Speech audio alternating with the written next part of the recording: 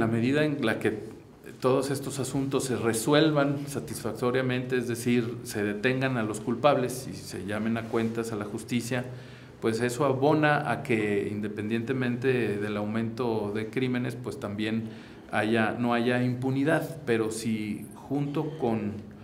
con el incremento en los niveles de, de, crimen no se resuelven los casos, pues entonces es, es, cuando la ciudadanía entra en una especie de zozobra de inseguridad porque